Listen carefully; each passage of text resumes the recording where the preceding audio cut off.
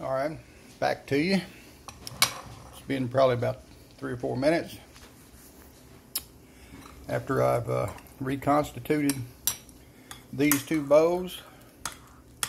I have tasted it, and it is so good.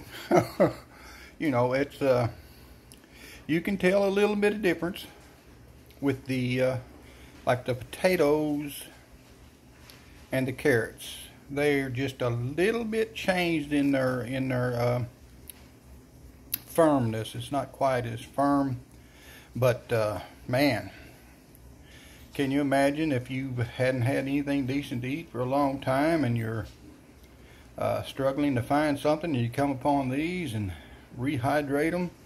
That's a perfect meal right there. It's uh, the beef is perfect. The the the the juice the celery, everything is perfect. And uh, absolutely, absolutely, this is a winner right here.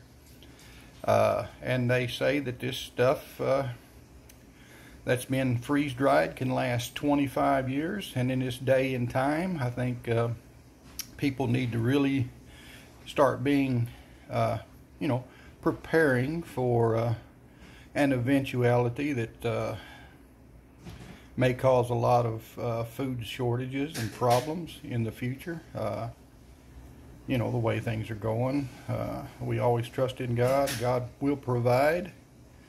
Uh, but He doesn't want us to sit on our laurels and just wait on Him. We're supposed to be uh, about the business. So uh, this is part of it. Perfect. beef stew. two thumbs up without a doubt. See you.